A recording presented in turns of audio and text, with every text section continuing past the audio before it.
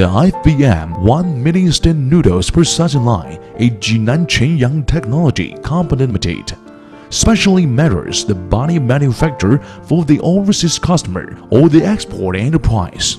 This machine hardly of operation, simple easy to study. The output is the shift production 8 hour 11,000 package. The entire chip production line's length is 24 meters.